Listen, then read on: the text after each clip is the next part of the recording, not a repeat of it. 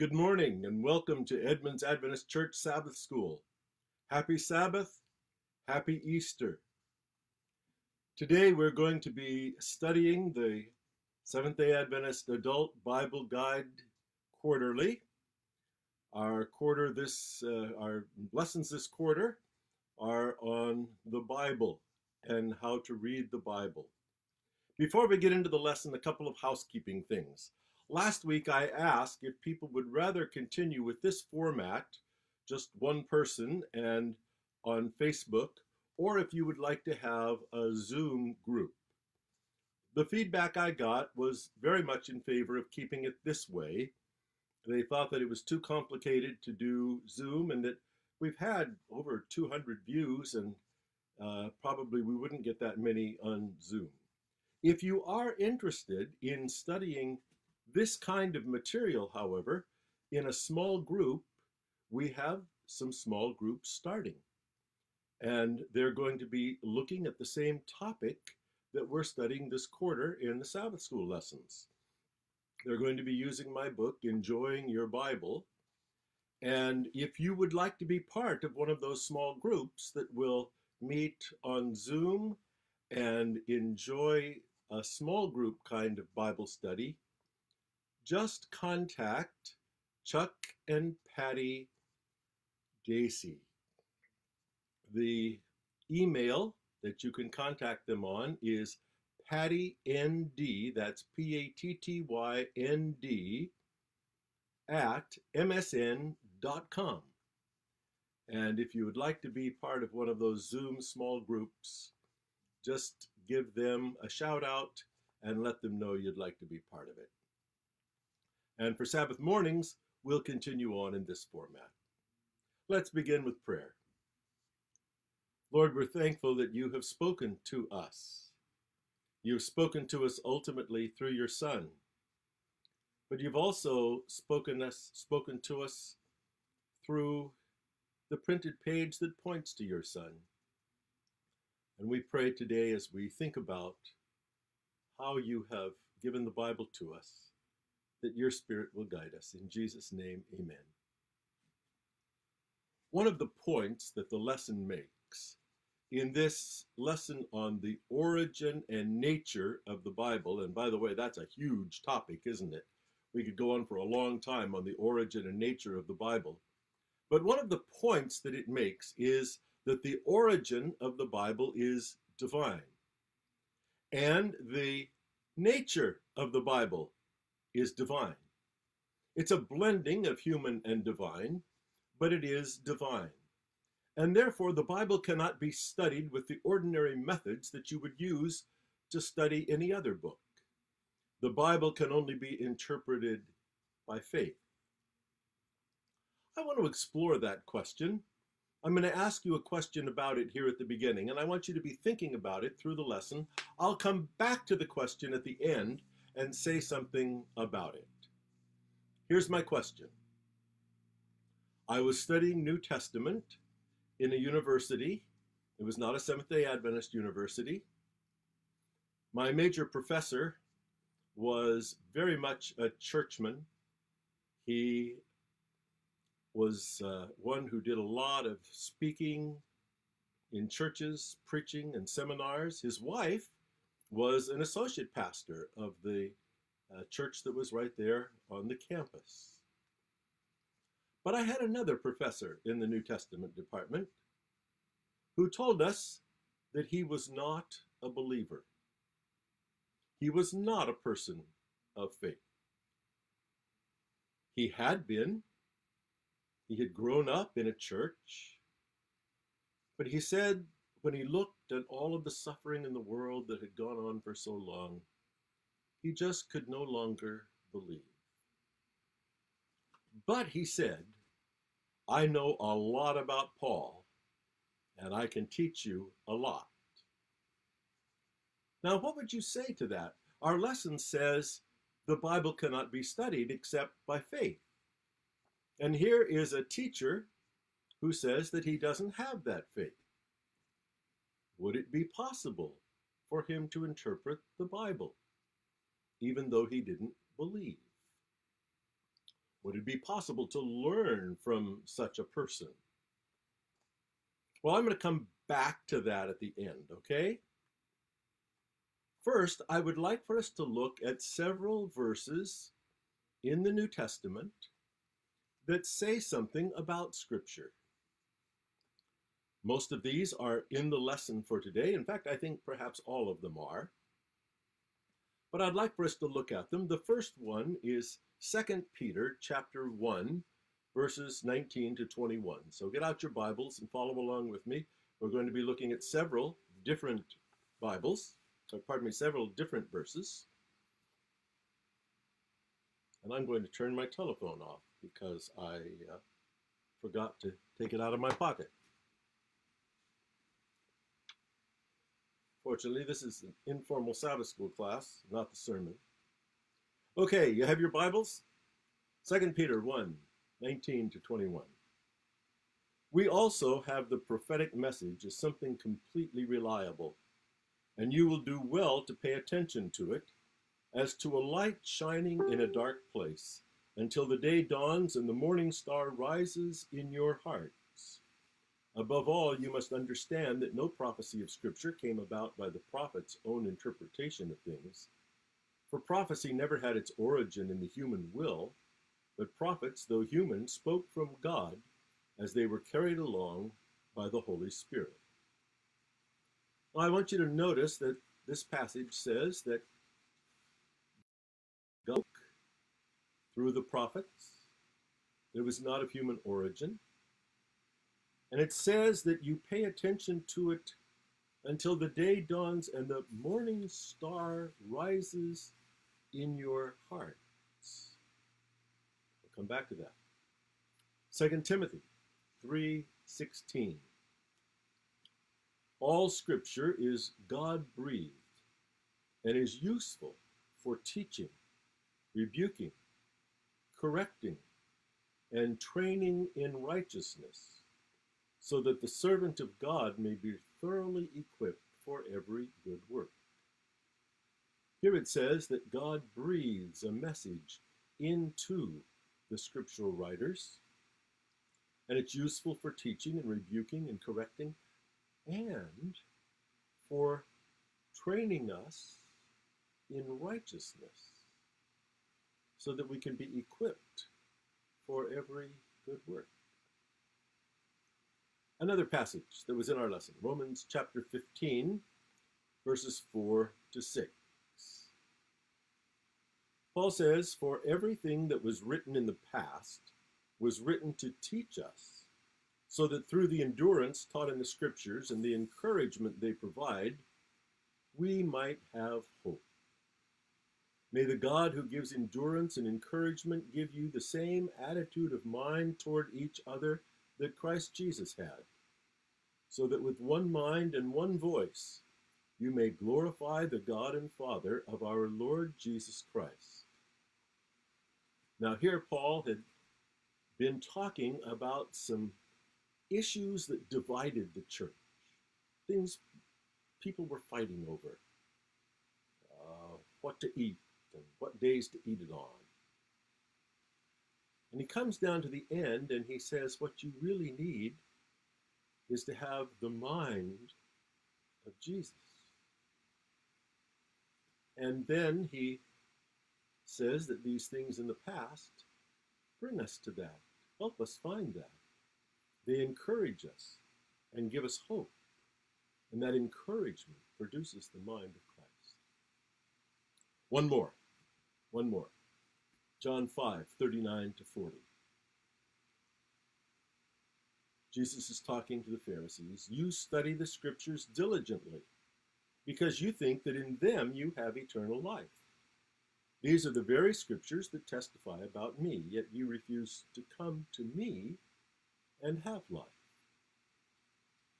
So here, Jesus says, as recorded in John, that Scripture is to point to Him, and that through Him we have life. Now, let's just summarize some of the things we've found in these several verses. What are the goals of Scripture? Why do we come to Scripture? So that the morning star can live in our hearts, so that we can be trained in righteousness, so that we can have hope and encouragement, so that we can have the same mind as Jesus Christ, so that we can come to Jesus and find life. So when we talk about the divine nature of Scripture, nature, the, the divine nature of Scripture involves pointing us to Jesus where we find life. It involves doing something in our hearts. It involves transformation. So, one of the questions I think we have to explore is what's the relationship between reading and understanding and actually being transformed? Well, when we look at the origin of the Bible, as this lesson does, we find that there are a number of different ways that the Bible writers actually wrote. Let's just look at some examples. Exodus chapter 24, verses 3 and 4. When Moses went and told the people all the Lord's words and laws, they responded with one voice, Everything the Lord has said we will do. Moses then wrote down everything the Lord had said. Now, I think we often think of Scripture as coming in this way God says it, the person writes it down. But not all of Scripture seems to be that way. It's interesting that Jeremiah, the prophet, wrote a message to the king. And his scribe or servant, Baruch, took it to the king. And you know what the king did? He took each page and it would cut it in half and throw it in the fire. He was not about to hear what Jeremiah had to say. So what happened after that? Well, in Jeremiah 36, 32, we read this. So Jeremiah took another scroll and gave it to the scribe Baruch, the son of Neriah. And as Jeremiah dictated, Baruch wrote on it all the words of the scroll that Jehoiakim, king of Judah, had burned in the fire. And many similar words were added to them. Now that's interesting. How were the similar words added? Did Baruch add these words? Did Jeremiah add these words? It seems clear when we read Jeremiah that there's been some editing that's gone on because some of the book is by Jeremiah and some of the book is about Jeremiah. And it's interesting too that when we look at the Greek version of the book of Jeremiah, which is of course a translation of the original Hebrew version, the Greek and Hebrew are actually quite different. There's some different arrangement and some things that are in one and not in the other. So here we see a scribe who is a part of the process of Jeremiah writing these things down. Paul used scribes. There's one letter where the scribe actually gives his own little greeting at the end. It's in the book of Romans, chapter 16, 22. I, Tertius, who wrote down this letter, greet you in the Lord. So here the scribe, who actually wrote it down, greets the people at the end of the letter. Many of Paul's letters have the names of co authors at the beginning. One question is how much did those co authors participate in the writing of these letters? And then, of course, there is Luke. Luke tells us that he did research to write his Gospel of Luke. He begins the letter, we saw this last week. Many have undertaken to draw up an account of the things that have been fulfilled among us, just as they were handed down to us by those who from the first were eyewitnesses and servants of the word. With this in mind, since I myself have carefully investigated everything from the beginning, I too decided to write an orderly account for you, most excellent Theophilus, so that you may know the certainty of the things you have been taught. So Luke doesn't say, I was there. He says, no, the eyewitnesses have written things down in the past. Obviously, there are there's more than one thing that's been written down. We know for sure that one of the things Luke used was the Gospel of Mark because he follows it very carefully through much of his book and is often very close in wording. So he obviously had Mark as one of these sources, but he says there were other sources as well. And he, through the guidance of God's Spirit, does his research and uses the sources and writes the Gospel of Luke. There's an interesting example that gives us a, a tiny hint into the process of the origin and nature of the Bible, the divine origin and nature of the Bible, and yet the human element as well, in First Corinthians.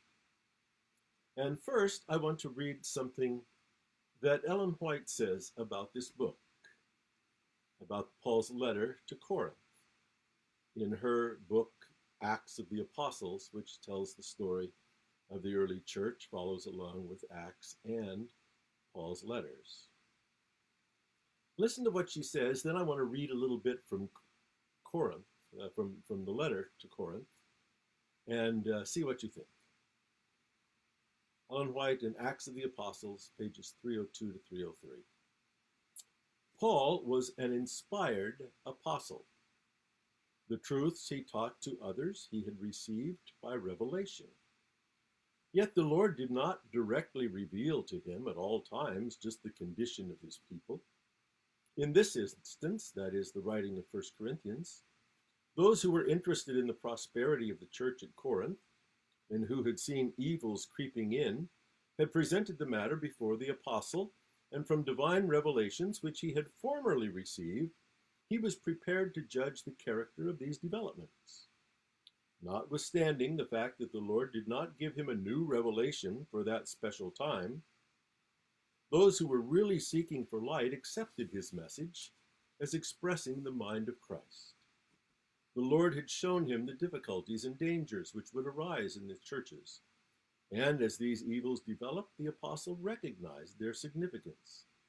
He had been set for the defense of the church. He was to watch for souls as one who must render account to God. And it was not consistent and right for him to take notice of the reports concerning the anarchy, but, but pardon me, was it not consistent and right for him to take notice of the reports concerning the anarchy and divisions among them? Most assuredly, and the reproof he sent them was as certainly written under the inspiration of the Spirit of God as were any of his other epistles. So she says God didn't send some vision here for Paul to write First Corinthians. But people came to him and told him what was going on there. And he knew from his experience with God that this was not right. And so he wrote. Now, if you look at the beginning of First Corinthians, I think you get a little bit of insight into the way Paul goes about writing. Sometimes we think that Scripture simply means that it was dictated by God to the person. But I don't think God would have dictated 1 Corinthians quite this way. We see that the mind of Paul is involved in the process. So in chapter 1, Paul is addressing the fact that they were divided into factions some people were saying, well, we're from Paul, and others were saying, well, we're from Apollos, and some said, well, we're from Peter. And so Paul is trying to speak to these divisions among them. And listen to what he says in the first chapter of 1 Corinthians. Is Christ divided? Was Paul crucified for you? Were you baptized in the name of Paul? I thank, I thank God that I did not baptize any of you. Oh, except Crispus and Gaius. So no one can say you were baptized in my name. Oh, yes, I did baptize the household of Stephanas. Beyond that, I don't remember if I baptized anyone else. For Christ did not send me to baptize, but to preach the gospel. Now, it's hard to think of God dictating that, isn't it? We see Paul's mind at work. He's talking to a scribe. We don't know who that scribe was here in Corinth, like we did in Romans. Romans, Tertius, who, by the way, would have been a slave because Tertius simply means third, and that's how slaves were named first, second, third, fourth. So we don't know who this scribe was, but Paul is apparently dictating to a scribe. And he says, I'm glad I didn't baptize any of you. Oh, yes, I did baptize Crispus and Gaius, but I didn't baptize anyone else. Oh, yes, I did baptize the household of uh, Stephanas. Beyond that, I don't remember if I baptized anybody else. The point is that you weren't baptized into my name, but into the name of Christ. Do you get an idea of how his mind is working there? Shows us something of the human side of Scripture, doesn't it? And I think that fits well with a position that I have found very helpful. A position on the origin and nature of the Bible and how it is inspired that was held by Ellen White. She talks about this. She talks about how there is a blending of the human and the divine that humans are led by God to convey a trustworthy message, but it is through the human mind and filter. Let me read you a couple of paragraphs from the first volume of Selected Messages, page 21. Here's what Ellen White says about the divine and human origin and nature of the Bible. The Bible is written by inspired men, but it is not God's mode of thought and expression. It is that of humanity. God as a writer is not represented. Men will often say such an expression is not like God. But God has not put himself in words, in logic, in rhetoric, on trial in the Bible. Now, that's an amazing statement, isn't it? God isn't on trial in word and logic and rhetoric in Scripture. The writers of the Bible were God's penmen, not his pen. Look at the different writers. You know, there are times when I read Paul and I take comfort in the fact that God didn't put himself on trial in the logic of Scripture. Because sometimes I just have to admit I understand the point Paul is making, but I'm really not quite sure about his logic. But Ellen White says God isn't on trial in language, in logic, in rhetoric in the Bible. The Bible writers are God's penmen, not his. She goes on, it is not the words of the Bible that are inspired, but the men that were inspired. Inspiration acts not on a man's words or his expression, but on the man himself, who under the influence of the Holy Ghost is imbued with thoughts. By the way, she talks about the men who were inspired. I have a sneaking suspicion there might have been parts of the Bible that were written by women as well. She goes on, but the words and thoughts receive the impress of the individual mind. Notice that the words and thoughts receive the impress of the individual mind. The divine mind is diffused. The divine mind and will is combined with the human mind and will, and thus the utterances of the man are the word of God. Do you see what she's saying about this blending of human and divine? That God inspires not the words, but the person. And then the person takes the message of God and puts it in their own words and logic and rhetoric and conveys that message. And the message, because God guides it, is trustworthy. Now, I want to come back to our original question. What about my professor? The one who said, I don't believe, but I can teach you a lot about Paul. Can he really? The lesson says that we can't really interpret Scripture unless we do it by faith. And here's a teacher of New Testament who says, at least, that he doesn't have that can he teach something about Paul? Did he know a lot about Paul, like he said? Absolutely, he did. Could he help us understand Paul? Well, my answer, taking his classes, was yes.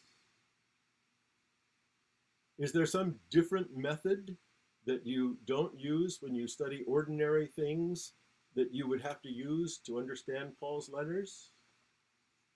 Well, in terms of just understanding, I don't think so. We still read words. We still look at what those words might mean. We go back and try to understand what they meant in Paul's day we still look at the rhetoric, we still look at the sentence structure, we still look at the paragraph, we still look at the context. We do all the things that we would ordinarily do if we were reading anything. This teacher was an expert in Greco Roman language and rhetoric. He was a linguist he could do a lot in telling us why Paul said things the way he did, and how other Greco Roman writers, and then how rabbis would want to put the rhetoric together to get a point across and what he was trying to say and the way he put it together. It was very instructive. I learned a lot. By the way, he was a very compassionate man. I do think that his reading of the New Testament had affected him more than he thought, even though he claimed not to have faith. I do remember one day when he became very wistful in class. He said, You know, I don't believe anymore, and I just can't be a hypocrite. So I can't go to church. But he said, There are some days when I just long to be in the congregation and sing hymns. I really miss singing hymns. He said, I just don't feel that I can do it since I don't believe. I remember once I was going through a bit of a problem. I, I was sent there by one institution, and there was another institution that was calling me to go there, and I was struggling with that decision, and he heard about it and called me in and very compassionately explored with me what the options were and the advantages and disadvantages of both sides. It was very pastoral, actually. So, can I learn from this person who doesn't have faith? Well, I think the answer is yes.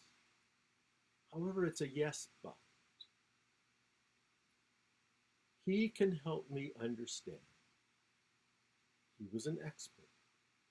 He knew the languages. He knew the rhetoric. He can help me understand. But Paul did not write simply so that people could understand, nor did the other Bible writers. Remember what we saw at the beginning? What is the purpose of Scripture? It's to lead us to have the morning star in our hearts. It's to train us in righteousness. It is to give us the mind of Jesus Christ in the way we deal with other people. That doesn't happen just by understanding. That only happens when we come in faith and let the Spirit lead us. So, is it possible to read the Bible as you would another book? Well, yes, of course. I mean, we read all books by understanding the language. But the Bible has a deeper purpose. And that purpose is only met through the Spirit. Now, sometimes we think that the Holy Spirit is there simply to tell us what the text means. I don't have to study the text, I don't have to do the work of exploring the languages and trying to understand the way I would any other text. No, the Holy Spirit just tells me what it means. I don't think that's true. I think that we have to study diligently. And we have to use the various methods that we use when we study any piece of literature. And yet, we also come always inviting the Holy Spirit to lead us. The Holy Spirit doesn't simply tell us what it means. But I think the Holy Spirit does do three different things that are very important. And I don't have time to explore these today, but on another lesson this quarter, I will take time just to go through this and explore these. Three things that the Spirit does for us when we study. It doesn't just tell us what the text means. But number one, we come and ask for the Spirit to put away our prejudices. You see, we all come to the Bible with our own filter the filter of our own personality, our own culture, our own background.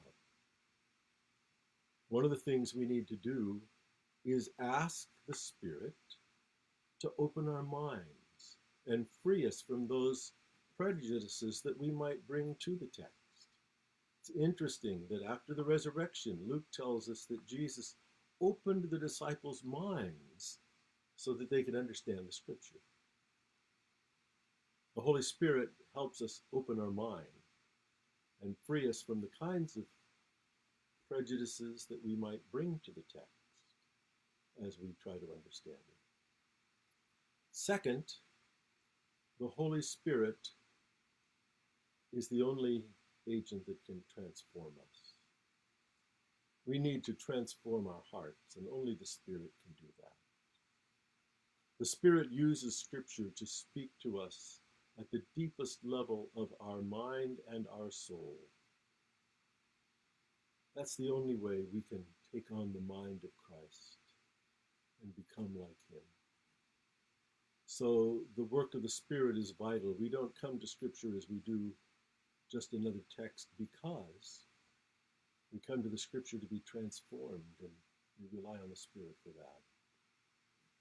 Third thing the Spirit does is give us the courage to act on what we find in Scripture. I remember a statement by Peter Marshall. He said, We spend way too much time worrying about how to interpret the difficult passages of Scripture.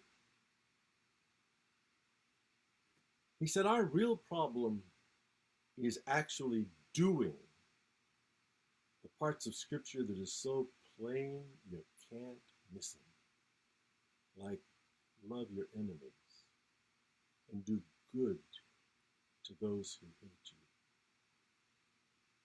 So the Spirit gives us the courage to take that message of Scripture and put it in our hearts. As I say, in a subsequent lesson, we'll look at those three things in more detail. But more about that on another day. For now, we'll stop and give you a break between now and church. Our worship service will start at 11 o'clock, about 25 minutes, with a children's story and a sermon, and also some news about our church family to keep us together. So thank you for tuning in, and we'll see you again in about 25 minutes.